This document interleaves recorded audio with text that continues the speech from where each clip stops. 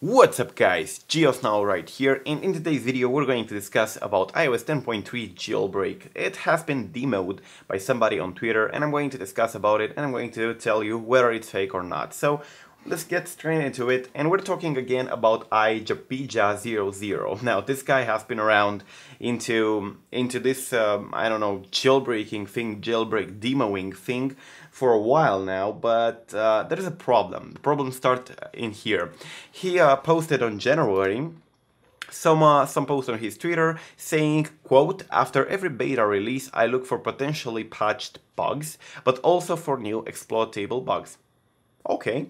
A few days later, iOS 10.3 and the build number, and he basically what he says in here is that he managed to jailbreak iOS 10.3. So it says um, iPhone 9.3 being iPhone 7, iOS 10.3 in here, and um, yeah, he demos the fact that it's jailbroken. So what's the problem in here? Now this guy has been around for, for a while using this. He's a Tweak developer, so it's not just a random guy. And he made that Yucca utilities thing that Saurik said you shouldn't install on iOS 10, but the Tweak itself is a good one, just not compatible or in conflict with Yalu jailbreak, but it's a good tweak. Now, this guy has been the one who uh, tried to make that fix for Yalu when uh, Yalu was in the first stage, you know, when the Yalu jailbreak didn't have that substrate fix. And, uh, you know, if you remember, a month ago, when he had that little beef with Saurik and with uh, Luca Todesco for making that fix and uh, Saurik wrote this kilometric post in here that I definitely would recommend you to read. It's basically pretty straightforward even though it's a little bit long I wonder how much uh, time it took him to, to write this thing. But anyways, uh, Saurik explains in here perfectly what happens when a developer like iJapija uh, releases in the wild what he did, uh, that fix. Well, let's don't talk about fixes and tweaks, let's, let's talk about his jailbreak uh, things. So, we know iJapija00 is a Tweak developer, he made Yucca utilities, he made a fix, um, well, allegedly fix because it was a simple bypass of a security mechanism in, uh, put in place by Luca Todesco. But anyways, uh, we know he knows how to develop apps. But is, is that enough to make him a jailbreak developer? Well, on his YouTube account, he has quite a few videos demonstrating some kind of jailbreak, uh, being it for 10.1, 10.2, and 10.2.1, and now on Twitter for 10.3 beta, but he never released anything, and he backs up the fact that he never releases with the fact that exploits are required to work and it's better to keep them private. A single developer don't want to be responsible for other devices, uh, for other people's devices. Uh, Cydia substrate requires fixes. Mm, right. So uh, pretty much a lot of excuses not to release. And we never saw a release for a jailbreak from this guy.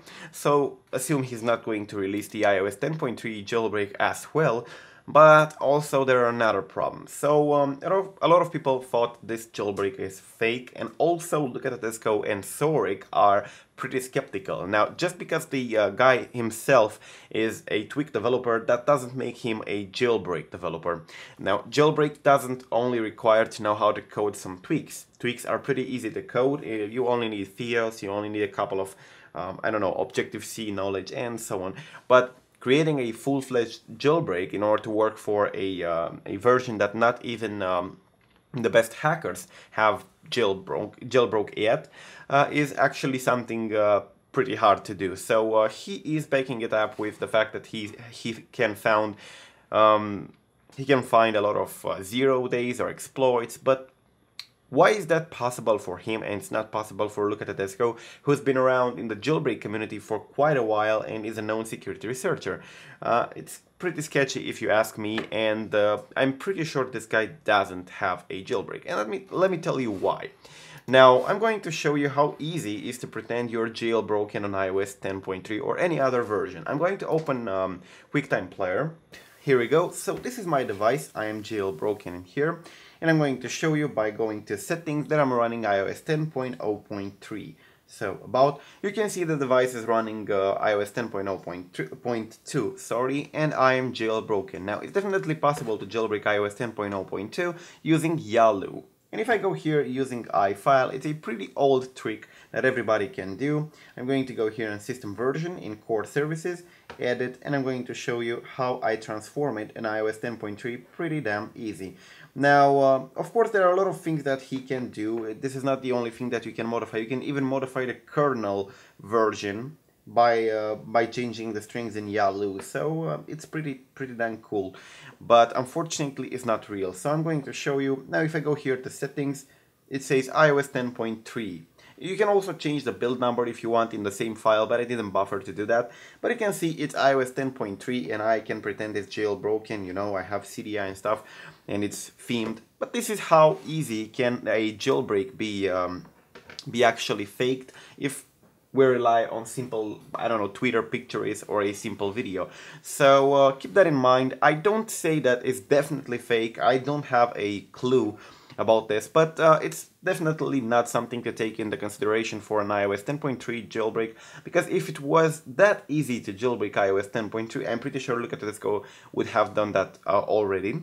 Uh, because he is definitely a better security researcher than iJapija, and um, yeah, do not expect any uh, releases from this guy. He is a good tweak developer, but I don't think he is as much as a uh, jailbreak developer, a full-fledged jailbreaker, jailbreaker, and let alone for iOS 10.3, which of course patches a lot of uh, exploits and so on. So this is pretty much it guys, I really recommend you to go ahead in here and read Saurik's um, article or Saurik's comment from one month ago and you will understand better about this guy and about why um, why is he so hated by Saurik and Luca Todesco. And uh, till the next time, do not forget to subscribe to stay updated. Do not fall for anything related to jailbreak that uh, isn't even real. And subscribe to my uh, Reddit or subreddit in here, iDevice Central, for more information. Yeah, this is it. I'm GeoSnow. Until the next time, do not forget to check out my other videos on uh, iOS or jailbreak related stuff to keep you informed and peace out.